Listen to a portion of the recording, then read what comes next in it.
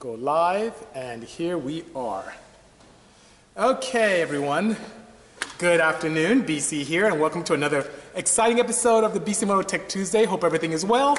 Here at the Bisimoto facility, and let me move this around a little bit. Hello, C. Perez. Good seeing you this afternoon. And for those of you on YouTube, thank you for joining us. Make sure that you are okay. Yes, you are. And for those of you listening on the podcast uh, via the different mediums that we explore, thank you so much for joining us on this Tech Tuesday where we talk tech and more. Hello there, Kali Live.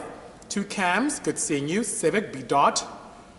Jesse, you can. Write to me at lab at bisimoto.com. Send me a resume and maybe we can make some magic happen together. Hello, Project PRI. Good seeing you. What's up, Civic? Good seeing you. Good afternoon, Cali Life. Fox, good seeing you. All the way from the Orange County, Logan joins us. Hello, Logan. Nathan from Honda, tell him I said hi as well. Richard, I'm not doing any backflips today, by the way. Hello, Christopher, Shark Boy. Dan the Man FG4, hello, sir. Good seeing you as well. AJ, all the way from the UK, thank you for joining us as well.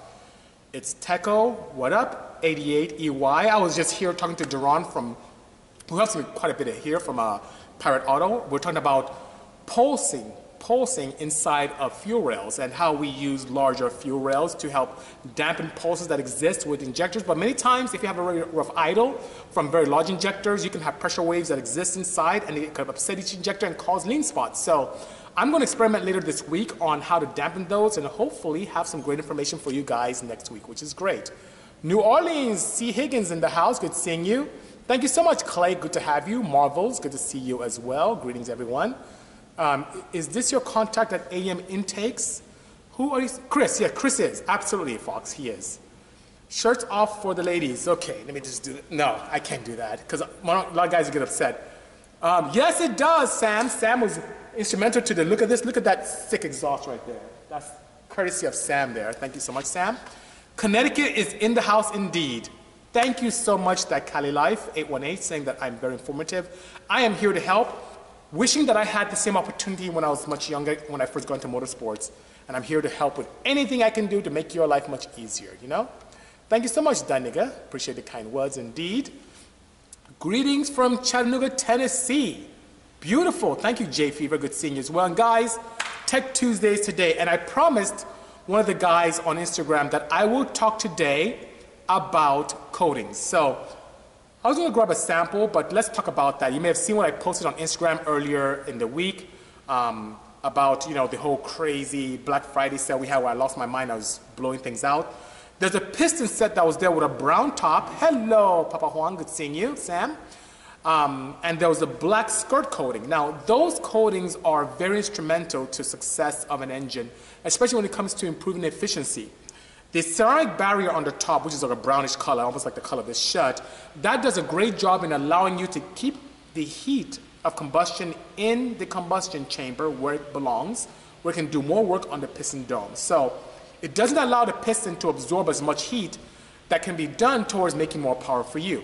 We've seen a 5 to 8% improvement in power on just ceramic coatings alone on the dome pistons, both NA and turbocharged. And they're not, you don't just spray something on there. There's a very nice way to bond that to the piston top, which is cool. And as you remember, I've talked about this many times before. En engines are nothing but glorified energy converters. Yes, smile, roll call indeed. Energy converters where we take the energy in oxygen combined with the fuel and the caloric content of the fuel, so that's chemical energy. Through the event of combustion, we have this very nice explosion that occurs. So now it converts that chemical energy to heat energy via combustion. That heat energy then does work on top of the piston, which is converted to mechanical energy, up and down motion, which is then turned to rotational motion via the crankshaft. So, anything you can do to prevent that heat from being dissipated into the surroundings, being absorbed by the combustion chamber, being absorbed by the valves, being absorbed by the sleeves, being absorbed by the piston, can help create more opportunities for work on the piston top, hence being more power. Above and beyond that, friction is very important. As you can see, I represent the guys from Purol. I love their stuff. They're from aerospace, and they do a great job in friction reduction. But one way to take that a step further is by reducing the friction of the skirts on the cylinder walls. And how you can do that is a moly coating. So that helps a very good way by coating up pistons of moly on the skirt and allowing that to happen. And that process is not very expensive. For many of you who are four-cylinder engine lovers, that process is about anywhere from 160 to $200 for a set of four, which is way worth it As you can imagine, that's less than most exhaust systems, and you make more power than a ex typical exhaust system. Thank you so much. I appreciate the kind words, everyone. What am I going to do, Ivalon saying, with that MR2 I picked up? I haven't decided yet. So I have two options, I would say. Do a crazy swap with an engine from a different marquee, one that's very popular and can really wake that thing up like crazy, or use a base Toyota engine and make parts for that, which would be more involved and could take much longer, you know. Is the efficiency of using heat the reason why F1 engines are so crazy? Absolutely. You know, F1 engines, not only do they, are they designed to use heat efficiently, even how the exhaust is routed on the bodies help with aerodynamics. They really take motorsports to the highest level. Do a Cayman engine swap. That would be nice, but um, right here, I'm gonna show you this. I don't know if you can see this, but I have a Cayman engine right there. See how big that is? That will not really fit very well in the confines of a AW11. That's very small. Hello, Jim. Good seeing you. AJ, good afternoon. Good seeing you. Thanks for joining me this afternoon. Thank you so much. Oh, good, Geisha. By all means, I love that stuff in, in well. J series is also a pretty large engine, which will be, even though the V is not super wide, it will be a bit of a challenge to fit in there. I may end up staying with something inline four. So that's something all of you can also easily replicate as well. I mean, I don't want to create a project that's absolutely impossible for any of you to be able to replicate. I'm here to help. So demand FG4 is telling me I should case swap a Porsche. It's been done already, and my fans, I wouldn't say my fans, but my Porsche enthusiasts will kill me. My customers will not be happy with that. Um, I should probably just case swap the MR2 over there. That'd be really cool, wouldn't that? You know? So Little Thug is asking how's the AW11 project going. We're just talking about that for you just joining us, Little Thug. Um, the engine is out. We have got to a point where we're going to decide if we're going to put um, a, an inline four from another marquee that can be very straightforward and very exciting for everyone, or stay with the umbrella of Toyota, you know. Um, wagon, what horsepower? Nothing yet. That's crazy. I can tell you one thing. I've been very busy. So um, I'm doing some testing with some fuel components, and even at low boost, she's making 660. So I can't tell you much yet, but I want to be able to show you that. I was just talking to Duran about that a moment ago. Low boost, which is pretty exciting. Beams, that is a very expensive engine that doesn't make a lot of power. I'm a big power guy, but good suggestion. Thank you so much. Hello, high class customs. Good seeing you. My favorite fuel to run, I like methanol because of its caloric content as you combust it in the same amount of air, not caloric content per volume of fuel, but per volume of air combusted, how much heat can generate. I love the cooling aspect of it. I am not too crazy about its affinity for water being hygroscopic. So it is a hygroscopic fuel and also needs pickling. It needs a lot of attention. So, but it's my favorite fuel to make power with. The most user-friendly favorite fuel I would say is E85. I find that extremely appealing indeed, you know? Um, oh, nice. There's one in Australia, Little Thug. We should probably be brothers from across the world. One in Australia, one in America. I may end up doing that, which is pretty nice, you know? Hydro what? JP Farrow saying hydroscopic. So it's hydroscopic, which means it has affinity for water. If you allow methanol or ethanol to sit in an open container, it will become diluted with moisture from the atmosphere. It will pull moisture from the atmosphere and become more and more water-ish, if that's a word, you know? Do I coat external parts in engine to cut down heat soak? Absolutely, I do. So if you look at even the Wago van that I, that I just built recently, there's extensive use of coatings on the engine bay. Uh, ceramic barrier coatings on the exhaust, on the turbine, on the um, adapter from the turbine to the exhaust manifold, um, quite a bit. And if you look at this Porsche right here, you see that black coating that you see is actually quite dark. That's not just for looks. It's not just a black coating that is, I would say, what's a good word? It's not for aesthetics. It is a ceramic barrier coating to keep heat so that the heat can help scavenge even better with exhaust. Yes, hygroscopic, absolutely. Saluda as well, Jaime. Good seeing you as well. Uh, will be tricky. Not only would a transaxle be tricky with a 1J, the 1J is a pretty long and heavy engine. I want something much lighter, you know. I'd like to see an Dreams diesel swap in MR2. Please have a great day. Have a great day to you as well, Wagon Mike 42. Thank you so much. I have pumped several 85 and 5 gallon jugs closed for about five months now. Is it still good to use? Yes. If it's sealed, yes. What I tend to do with storage of any hygroscopic um, uh, fuel is to have it slightly elevated off the floor. So I used to have a wood block and I elevate it from the floor because it can weep moisture from the ground, which is pretty interesting. So yes, by all means. CDI Motorsport, good seeing you as well. Hello, Mohammed Nars. Cerakote, I think that is a brand name for a type of coating. Uh, horsepower L push, which one? We have quite a few here. Please let me know. How long have you been working with cars? So, properly working with vehicles, I would say, wow, since 1994, I would say. Um, so that's over 24 years I've been working with vehicles quite a bit. Hello, Obi-Wanza. Good seeing you. Good seeing you as well. I'm glad you can make it as well, Mohammed. Thank you so much. That wing in the background, thank you. That's courtesy of APR. They're actually quite here in Pomona, nearby. Very big on CFD analysis. It's not just for looks. It does a very good job in creating absolute downforce to, for impeccable adhesion to the tarmac when racing. It's a design that was very nicely uh, put together on the red one that's right here next to me. You can see the front end of the red one. And that was the base model that uh, Sam helped with as well. And now we have this, which is pretty cool. You know, cheers as well, Paco. Good seeing you. 996 Outlaw has a complex question. He says, soon cars are going to be electric. In a Tesla with four motors, why do you need the wheels turning? Why not just increase the drag on wheels in a tank? In a Tesla with four motors, why do you need the wheels turning? Why not just increase the drag on the wheels like a tank? So I'm asked, I think what you're saying is, why not use the wheels to vector and why turn the car at all? It gives for a very interesting feedback to the driver. So you know how tanks are steered. You have to be very comfortable driving that. But the average enthusiast who's used to a two-wheel drive vehicle and how the vehicles turn may find vectoring a little uncomfortable. Now, you can do that, and you can use that in combination, and some current vehicles do use the wheel vectoring to turn the car. You can do it, but it's primarily feedback for drivers. And if I were to design a car for myself, solely for myself, I'd love to vector all day.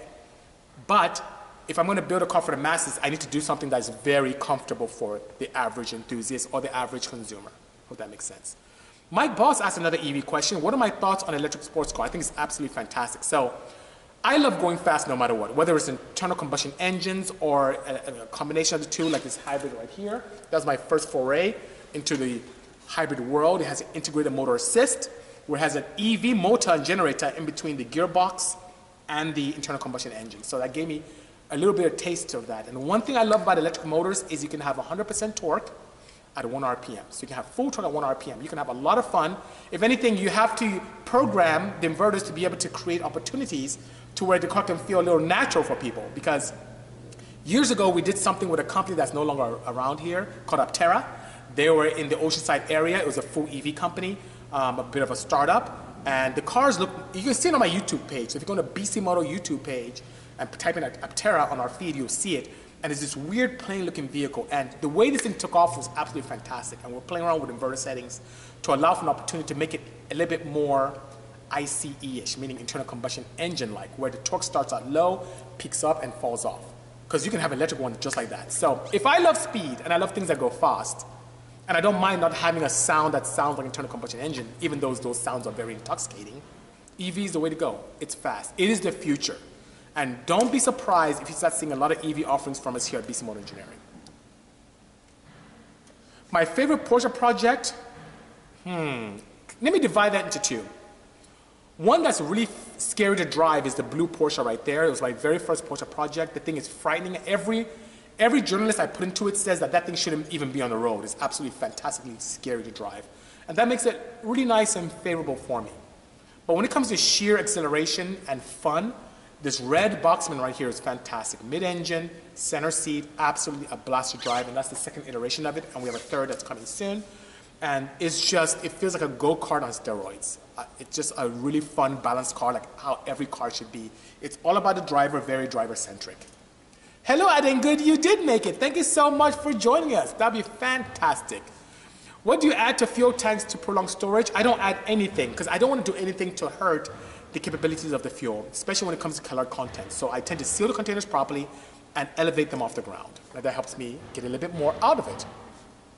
Thank you so much, General Visions. He says, what's up, bro? Love the wagon. Amazing. Can't wait to see it run. Likewise, it is a great, it's right over there. It's a great I would say, project for me because it allows me to think and figure things out and create. There's so much project product creation coming from that wagon alone. It's just absolutely amazing. And I love that whole sleeper look that it has. So it's going to be a very fun vehicle and one that can allow us to create a lot of great projects. Thank you so much.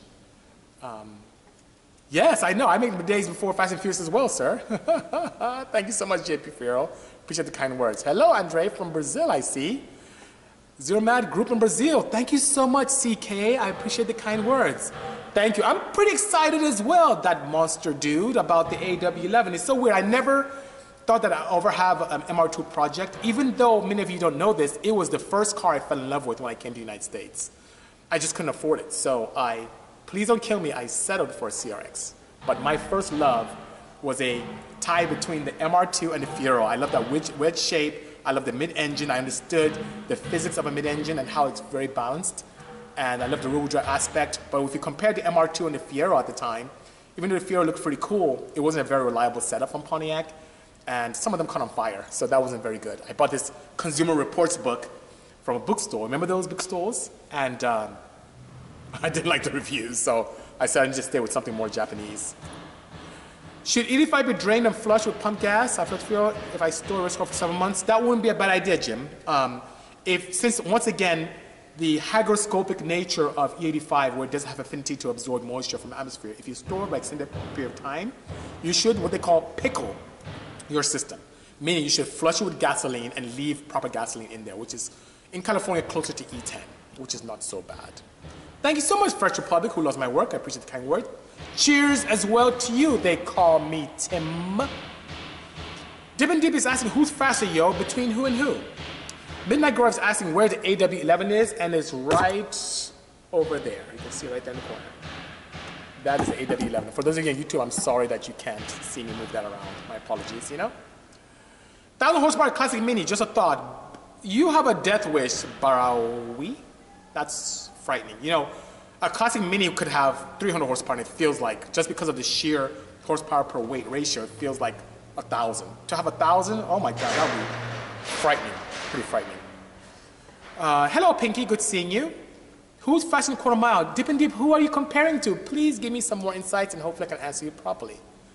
Shows the Civic. Interesting. Good, hello, Gundavar. Eager to see the wagon. Same here, Automotive Candy. So Automotive Candy, for those of you who don't know, they're the company that helped me tremendously with the rear end of the wagon, which is pretty nice, you know. 996 Outlaw, my pleasure, sir. I'm here to help. Have I ever thought of a VWCK diesel with a set of compound turbos? I don't have a relationship with Volkswagen AG, so because of that, I haven't thought of it. It helps me tremendously when I have a relationship with the manufacturer.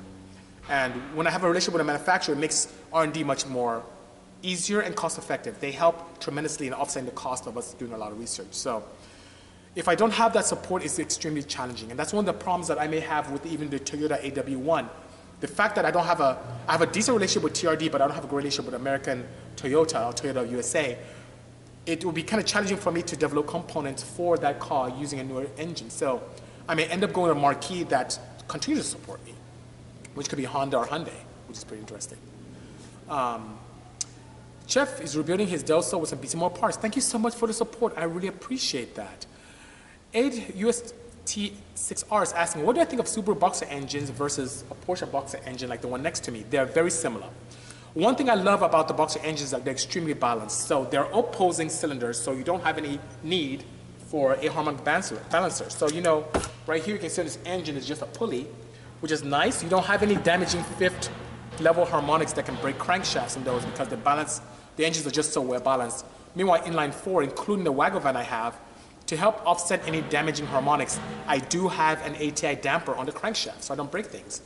The one thing about Subaru Boxer engines versus the Porsche Boxer engines, they're very similar construction. I, rumor has it that they even work together on some of their development. Um, I like the Porsche ones because in all things being equal, they have six cylinders and more displacement. So it's much more akin to making great power. Even though you do have H6 engines with Subaru, they're not super popular at this time. Hello, Bruiser, good seeing you.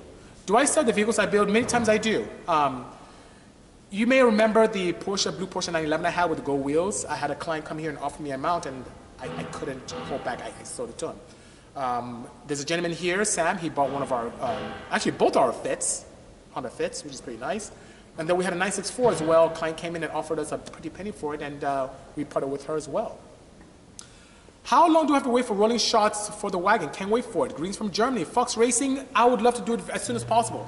The one thing is that I've been trying to catch up since SEMA. My company, we have been closed for a majority of the year to help with some pretty big scale projects. And because of that, I'm catching up. I heard, I had, I think, my first proper dyno session with a client yesterday. And with the, all the support from the most recent sales, I'm shipping out a bunch of stuff for the team. And it's just me trying to catch up. And look at this place. I need to tidy this place up. So that being said, me getting rolling shots of the wagon is not a priority for me right now, but I promise to you it's coming very soon. Let me catch up a little bit. Give me a um, week or so, and we'll have some good shots for you, okay? Do I still tune cars for the public? Yes, Paco. Yesterday I just had a 996 Turbo come in. I'll put that up tomorrow. And yes, I do. So give us a call here at the shop, 888 922 6686, and I'll be more than happy to assist. Sereno exercising what sort of emission recon you get on the Cayman. Does it pass Cali regs? I'm an engineer at an OEM and it's getting quite stringent. Are you concerned about Cali standard request tuner? I don't even finish your statement, but yeah, my Cayman is not street legal at this point. So that being said, it's not a street faring vehicle. And yes, you cannot get those cars to pass emissions. Whenever you tamper with any emissions equipment, whether it's ECU, catalyst, it's not street legal. That's not street legal, and neither is this as well. Tuners for emission and OBD knockover checks. Yeah, same thing. Um, California is very nice now with OBD2 where they allow for uh, readiness codes, which is nice, but anytime that you have any modifications to any um, emissions equipment, you do not allow yourself to be, I would say, legal anymore. Any more mods for the Odyssey? No, the Odyssey's just been there. Short of me having that most recent change from a, a Turbonetics Turbo to a Precision, it's pretty much been the same. I haven't touched the Odyssey recently a lot of the effort in terms of a Honda-based van type car has been on the wagon. So let's see, Evelon said, I have an idea in my mind to try and figure out a 1.6 EcoBoost swap for an AW11, but I'm thinking my C52 wouldn't be able to hold that much power. Is flipping the transmission upside down viable? It depends. So most of the time you can do that, you could flip it, but an adapter plate may be a better way to go. Um, so that being said, the EcoBoost, there's, there's so many options for you. If you were trying to do an EcoBoost, you know what I would do if I were you? I'll put an EcoBoost 1.6 engine. I'll opt for a Quaife gearbox, a Quaife sequential. They make one that fits the EcoBoost engine. It completely transforms the car entirely. Um, if it's on your budget, save up, do it. It's a night and day experience. Our friends at Mountune, um, they can import some from, for you and make your project even more exciting, you know? Any updates on the Turbo Viper build or is it no longer in the works? It's still on the hiatus right now, so no updates yet. I'll definitely keep you posted. Uh, when you were Spike and Zuckerman, did Spike kind of come off as a holier than thou? Sometimes he's much too much to listen to. No, Clay. Um, Spike Feresten has actually been great. I had the opportunity to, to participate with them in, a, in a, uh, a very nice podcast. I was slightly tardy getting there, which is really sad. Traffic wasn't in my favor, but Spike is really cool. He doesn't seem that way. He really is a true enthusiast. And I've heard that from other people, but with me, he's been absolutely spectacular. I've not had any challenges whatsoever. And Zuckerman is awesome. What a great chap. Very nice guy, you know?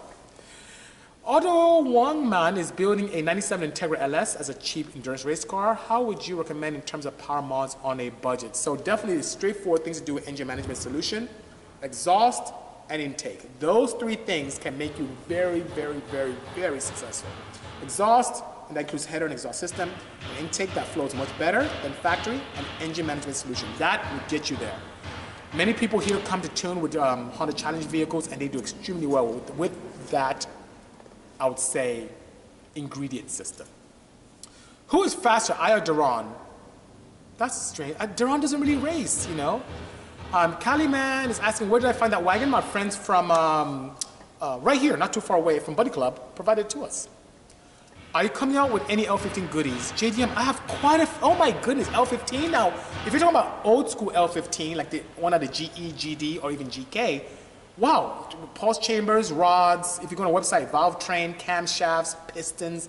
I even have pistons on sale for like, I think it was like 349 for a set. It's just, we have a lot. Intake manifolds, intake heat shielding gaskets, a lot for the L15. Now, if you're talking about later gen L15, the L15T, that's in the 10th gen Civic and the newer Accords, we have cat bypasses and downpipes. send me a PM and I'll be more than happy to assist you, you know? Is Porsche my favorite car brand? Thanks. I find appeal for many marquees. And let's talk about that a little bit. When they say for Porsche there's no substitute, that's a very nice moniker to really describe it. There's something about Porsche, something about the soul of a Porsche, which is very nice. It's a brand that's extremely prestigious. A majority of Porsches are still on the road, which is fantastic. They constantly reinvent themselves, which is amazing as well. And it's just a great brand. Um, the one thing about the Porsche community is that they're not crazy enthusiasts where they want to go crazy with their cars. Very few people go bonkers. Which brings me to the marquee. You take a look at the Honda world, those guys are bananas. They'll cut up their car, they make it all-wheel drive, they'll go crazy with swaps, they'll cut mounts off to put a K-series in the older chassis. They're pure, really bred enthusiasts. And the Honda brand is great because their engines have such a strong foundation. They would never believe the engine is a Honda, what we could be able to extract from those engines. And so a very strong base makes for a very reliable, successful project. When it comes to Hyundai, look at where they came from the Excel to today. Great brand. They had a lot of partnerships with Mitsubishi in the past. They're not creating their own engine and power plants. And my daily is a hybrid from Hyundai. I find them appealing. I find appeal for many marquees. I'm not a Porsche only guy, a Honda only guy, a Hyundai only guy, a Ford only guy, a Dodge Viper only guy. I am just a car person who loves marquees and I see value and advantages in each marquee, which is pretty nice. So I hope that answers your question very nicely, you know? Thank you so much, B. Dot, for the kind words about the wagon. I really appreciate that, you know? What would be a good engine swap for a Mini Cooper, not a classic Mini? the truth? A K-Series Honda engine. I think that'd be pretty good, you know? Honda's the best as good body, right? Honda's for life. That's, wow, that monster dude had an AW11 at 16. You are very fortunate, you know? What does AEM ECUs offer for drag racing traction control compared to Fueltech Haltech? So one thing I like about the AEM system is how it has the ability to have a very nice slew rate control. So if you have certain sanctioning bodies that don't allow you to have wheel-to-wheel -wheel biases, like what you may see with the Haltech Elite, the AEM allows you to have a very nice third step, almost like a third step rev limit, that limits traction based upon the acceleration of your RPM gauge or acceleration, delta acceleration of RPM. So when you have an RPM delta that's very fast or short in duration, the ECU can see that as an event where you're having a lot of tire slippage, and it can retard timing, do a fuel cut or ignition cut or a combination of those three at your leisure. So I found that very exciting as well. So that's one thing for drag racing that I find appealing. Some drag racing sanctioning bodies will not allow you to have a wheel-to-wheel sensor as an advantage for drag for traction control. Also, the AEM has the ability to have, if you go with Infinity, to have you control that. And by the way, the slew rate is in both Series 1, Series 2, and the Infinity. But Infinity has the capability of doing traction control based upon throttle position as well. Or I would say drive a wire throttle position. Thank you so much, Brainstorm. Excited to see it as well. Oh, you should get another one, Pinky. Wagons are so awesome. My logo is back with Phoenix hopefully soon. I'm uh, tuning up exhaust, adding good. Oh, good, good, good, good. I'm sure they're in great hands with Daz. Good seeing adding good. Fantastic. Do I have open house shows to meet and see our builds? Got to catch up events? That's a good idea, JP. Maybe put some pen to paper and talk to the team and see what we can do to make that happen. We've been getting a lot of requests for that. It's just really crazy here. The only time I cannot do um, open houses when we have secret projects here, which we hadn't one for a majority of the year, and I couldn't let people hear. Hello, Kerbin. Good seeing you. Wow, Automotive KMD's first car was an 89 MR2 Supercharged. Well done. Wanted to install a GSR into it after he spent a crap ton of money with Toy Sport. I remember Toy Sport. They had a facility right here in Gardena. It was not so bad, you know? Yeah, I've heard quite a bit about that with the uh, second gen MR2. Um, some consider that the third gen, but how people are having a hard time getting those engines to run very well. I get emails all the time and PMs about people asking me to really swap that engine out and get rid of the 4AGE. Oh well. Hello, Fabian from Costa Rica. Good seeing you. Beautiful. Thank you for the kind words. I appreciate that. And I look forward to exceeding your expectations with components. Good to see you as well, Pinky. Thank you so much. So Jim Genghis Khan is saying he's on the way to LA. Can he visit the shop? Let me know when. Um, this week is pretty crazy, so it may not be good, but if you're a little bit, a couple weeks from now, then maybe we can make something happen during the holidays. Thank you, Ron, for the kind words. What is the most power I can get from a stock L series engine? Stock has never been my forte because I'm a huge advocate of really, how should I say, reinforcing any shortcomings of an engine to make my project worthwhile. So I always begin with the end in mind. If I want to make 400 horsepower, I don't just throw a turbo on it. I sleeve the block, pistons, rods, I build it properly. I have never had a fit engine, an L engine, where I just labeled stock and just added to it. The closest I've done is with a pulse chamber exhaust, and I gave seven wheel horsepower with just the exhaust system alone. If I had to guess based upon my knowledge of single cam engines of earlier models, being like a, the D series into the L series, I would say with a camshaft intake exhaust um, upgrade, you may gain 15% more power thereabout uh, without opening up the bottom end. 15, maybe 20, using some kind of fuel system that would be more akin to E85. So I hope that helps. Is it cost effective to build an NA F22B to around 300 horsepower? Not for F22B1. The ports are not the best on that. You can do that um, somewhat with an F22A because the intake and exhaust ports lend themselves better to flow and to that kind of power goals you want. So whether you're looking at 300 wheel or 300 um, to the crank, it's, it's easier to use the F22A. The first time I put my F22A on the dyno, just taking my D series knowledge and applying it to F22A, it made 280 horsepower to the wheel on the Dynojet. It was just without even thinking. And all I did with the bottom end is keep it alone and change camshafts and intake, and I kept increasing that power way past the 300 mark. K24, K20. Dan the man, K24. I like the displacement, and even if you do something like the wagon where you use a D-stroke crank from Eagle, I like the deck height of the K24. It allows you to put a longer rod and have a better rod ratio. Hello, Alfie. Thanks for joining us. Good seeing you. What is the highest shot of nitrous you would go with on a build of D series coming on progressively? So it depends. If it's a build D series, you can have all the fun you want. You can go direct port. You can do 100 shot per cylinder if you want to. Now, if you're doing a dry system or wet system, when it gets to 75 horsepower or higher, because of distribution, I'm happier going individual port. If it's a stock engine, you may want to stay with a 75 shot and keep it there.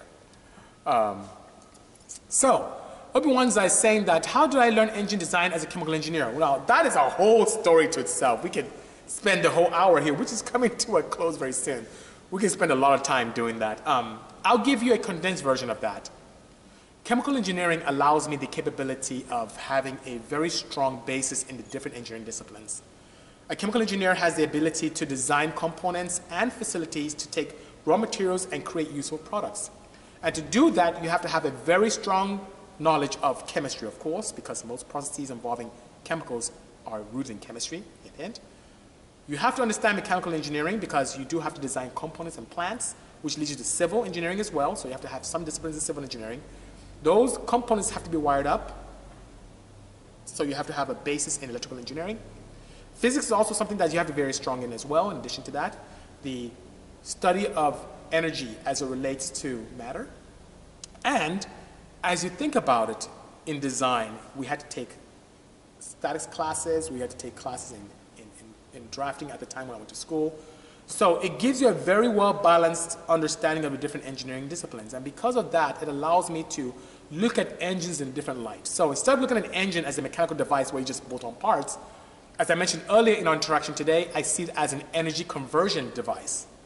Now, if you have an energy conversion device and you want to make it more powerful, as a chemical engineer, what do you do? You find ways of making things more efficient. And if you open up any of my engines, you use extensive uses of coatings to help with that efficiency.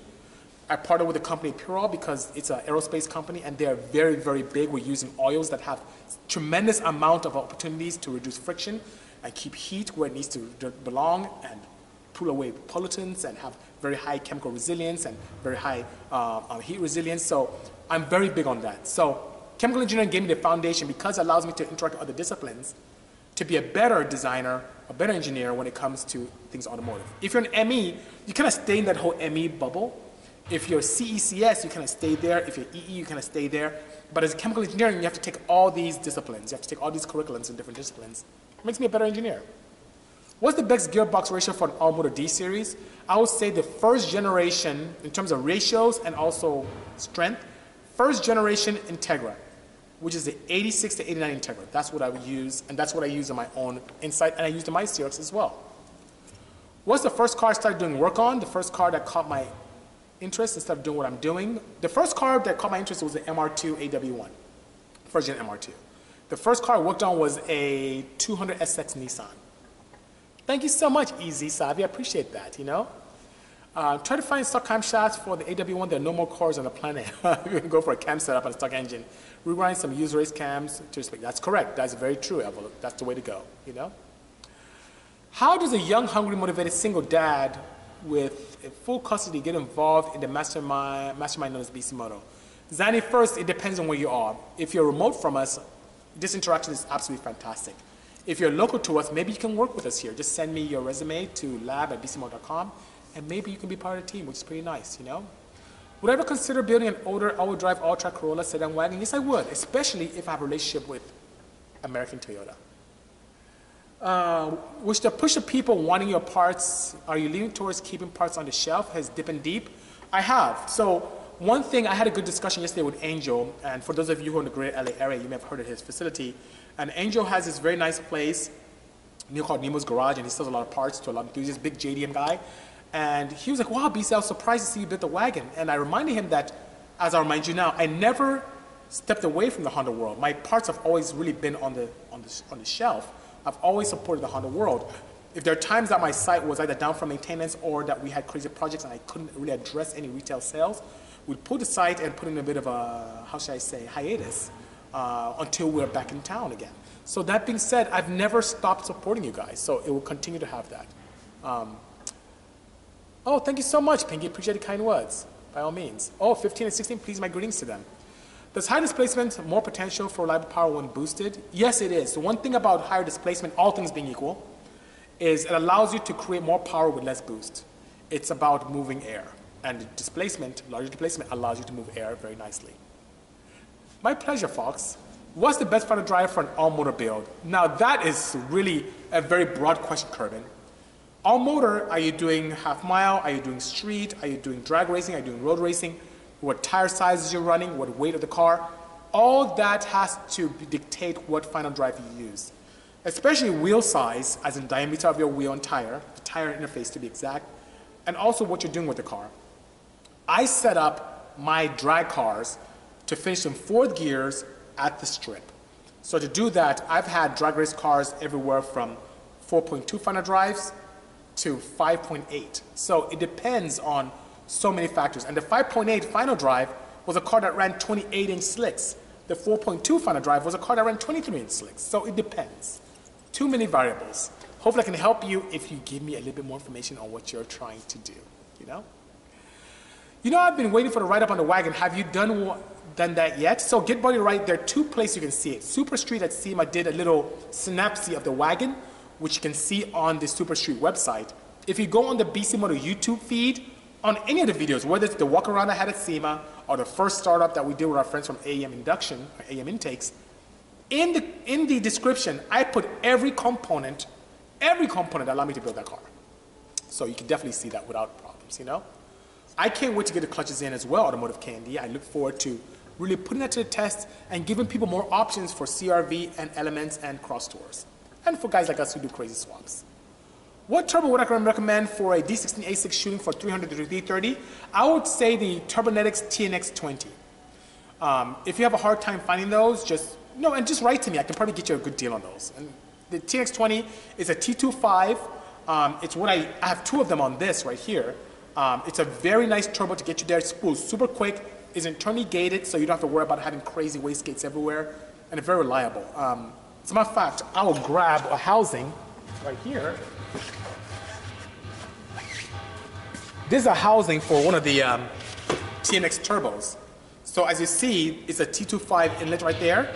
Has a very nice design in terms of the turbine housing. It has a V-band outlet, so it's very easy for you to be able to create an exhaust for it. And whenever you have to service, it's very simple to do that as well, which is pretty nice. Why are you laughing, Alfie? You're too good. In California, A.J. Thompson standalones are not smogly, and neither are certain flashes. Cheers to you as well, PW, PBW forever. Good seeing you. My pleasure, Serrano. Good seeing you. What's my opinion on the best intake for K24? It depends. If you're looking for something NA, Kinsler. You can't go bad with Kinsler at all. If you're boosted, what I do, which is the Golden Eagle intake manifold. Quite straightforward. Thank you. My thoughts on Jamie Marsh. I don't know who that is. have you considered building an older all-wheel drive Ultra Corolla? Yes, Dickie, we just talked about that. Um, I haven't because I don't have a relationship with American Toyota, so I'm so sorry. Um, ever thought about a Waggle van gathering? Ooh, Emez, that's a good, that's a good idea. We may have to do that. Have to do that. Steve, 848, sending love from Canada. I'm going to give that very good thought, Emez. If you have a pre-1996 diesel car, smog exempt, and do a petrol engine swap, is it legal? So in California, here's what happens. Your car is legal based upon the engine you put in. So if you put a petrol engine in California into your diesel chassis, you have to go to a ref, like a referee in California, and they have to certify that that engine meets the chassis, I would say, meets the standards of that engine. So if you have an engine that's a petrol engine from, let's say, 2006, whatever the emission laws were and components, whether it's a charcoal canister, evap, whatever needs to be in that engine, to get that engine to make it legal, has to be in that chassis. So that's how things happen here in California. Hello, Delane, good seeing you all the way from Europe. Honda Banana, I don't know what that means. Any thoughts on January? I don't know who you're talking about, Kerbin. I really don't know who you're speaking of. Um, if there's an all-motor record, that's, I don't know, I don't know. You have to educate me on that, but I'm not familiar with it. Um, the all-motor cars I know that are super fast, like Jeremy, who runs eights, um, Norris, who's done eights. Um, on a single cam, we did 920s. Um, all-motor single cam, and I still have stock glass and unibody. So, but I don't know if there's something. If there's something faster than 8.8, I'm not familiar with it. Or 880 or 8.7, I'm not familiar with it. Um, K series, yes, yes, yes, yes. Hello, Xavier. Good seeing you. Thank you so much, B. Appreciate the kind words. You know. Um, I know the intake and exhaust ports for the L15 are a lot smaller than the D series, and it's hard to bore out because the walls are so thin. It depends. The, you know, we've done crazy thing with ports in the in the vein of making lots of power, and the one way to know how to go crazy with ports is take a head and cut in half. So I typically have to sacrifice a head if I'm going to do something really crazy in terms of design and racing to see what we can get away with. But the key to making power is flow, period. Opinion on the Hyundai N sub-brand, I think is pretty amazing. They, they really grab some great talent from BMW. I think it's Biermann. He used to be the head of the BMW M division, and he's now part of the N division from Hyundai. I feel it'll really give that brand a nice boost and show that they're more serious about motorsports. So I think it's a good thing. I also think that there's going to be opportunity to make products, which we should, for those vehicles, as well, especially the Veloster. What are my plans for the MR2? So Dylan, you came a little bit later, but I haven't decided yet. I know that I'm going to stay in line four. I'm going to build it for next year. We already started already by putting the engine out. Um, I haven't decided if I'm going to stay with the Toyota brand. It's very likely that I'll go with a different marquee that's more supportive in putting that kind of engine inside that chassis. Oh, you got your gasket. Well done. Thank you so much. I hope you love it. It's great. I love those gaskets indeed. Um, have I, um, Dickie, you've asked this question three times, so I'll tell you no, I haven't considered, and it'll be very difficult if I don't have a relationship with Toyota. Hello, Xavier. I know Heifer. That was the way to go. Heifer was the nickname, HFR, for the first CRX that I raced, and Xavier and I used to race quite a bit. He's breed XO, you know. Oh, wow. I look forward to that real red. He said he can't wait for his guy to bring in his J35. That is cool. I love to see that. He's been a 63 Falcon, daily driven, with a J35 paired to Miatatrons. That would be an awesome project. Beautiful. Things are well, ran DC2. Good seeing you. Good seeing you. How much decrease in intake temps have I seen with my thermogasket? I've seen from 10 to 15 degrees in Fahrenheit reduction, which is pretty nice. You can even grab, the only heat transfer that happens is through the bolts, that is very minimal. But you can grab the intake manifold after, wow, significant driving, which is pretty cool, especially on a dyno. Thank you so much, David. I appreciate that. I need to buy an intake and throttle for my K24A4. What do I recommend? Um, it depends if you're NA. If you're NA, as I mentioned earlier, I would go with the um, individual throttle body from Kinsler. If you're boosted, just like I did, Golden Eagle. And in terms of throttle body, um, I've done something as crazy as a big Mustang for racing, which I have on the Black Civic um, 9th gen I'm looking at right here.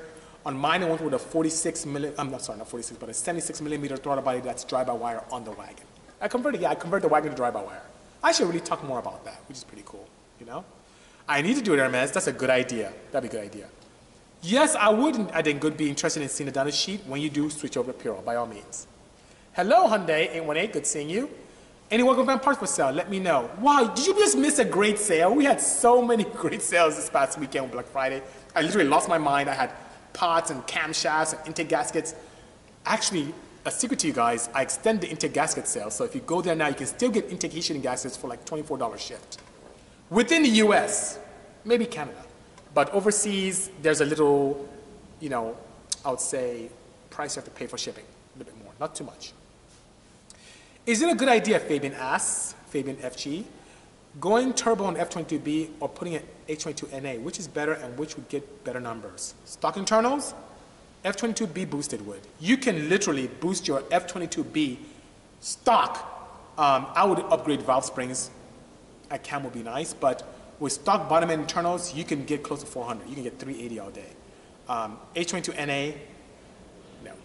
The limitation of H22 is the valve train. The, the valve angles don't lend themselves to very large camshafts. Um, because the head was designed to allow for hood clearance, the valve angles are quite radical, and if you go to very large lift camshafts or even oversized valves, they tend to interact. So in the meantime, you can run on the F22B you have. If you go crazy with camshafts in the future, you can go up to 600 lift and not have any problems, which is pretty amazing. Oh my God, time is flying. Maybe we can get to a couple more questions. Is the L15 related D series? It is the, I would say, the D series is a grandfather to the L series, so it is an advancement of the D series.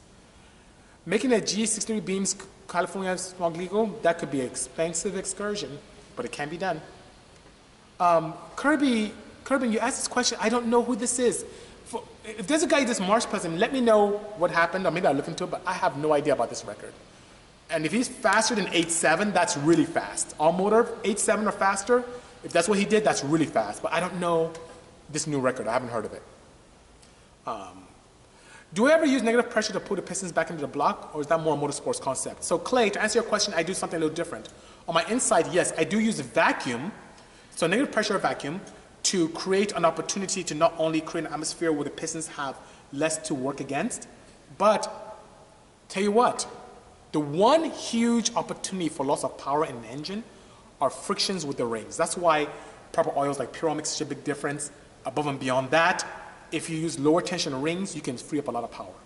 On my Insight, a lot of people don't know this, I run a two-ring piston setup because the center ring, reducing that, taking that away, allows me to create more power.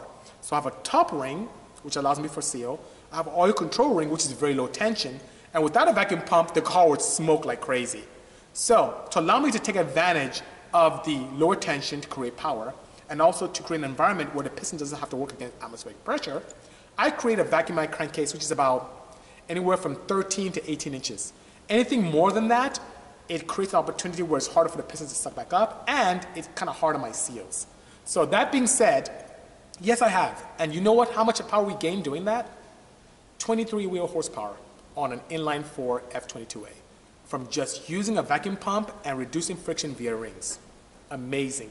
You know what you have to do NA to get 24 horsepower? A lot, especially if you're putting engines at almost the edge where you're maximizing compression and camshaft design, and intake design, exhaust designs, you know? So Geisha, I mentioned that before about the best intake manifold. I mentioned uh, Kinsler's for INA, and also I mentioned using Golden Eagle for boosted, you know? Um, what engine should I start off for a budget? If you are, so if, if a Honda engine for a budget, my choice is F22A. Um, if you want to really go crazy, I would say you can find probably some cost-effective K24 bottom ends from the CRV or Element, and scouring around the forums or the recyclers or um, wrecking yards or even online through OfferUp or Recycler to find a K24A2 head. That would be a very nice opportunity for you as well. But if you don't have that capability, you can pick up F22A engines for 100 bucks. Some people throw them away, and they're very, very good. Um, best final drive Kerbin for a D6L motor, as I mentioned before, it, it depends on what you're doing with the car and your tire size, you know? Thank you so much, Dealing. I appreciate the kind words. Thank you so much. So guys, oh my God, it's, it's time for me to depart. So thank you so much for joining me in this exciting episode of Bisimoto Tech Tuesday. I look forward to seeing you guys next Tuesday. And, um, you know, stay calm out there. Do the best you can. Thank you very much for the support. If you have any feedback on what we can do to make this program better, let us know. In the meantime, take care and have a great balance of the week. Cheers.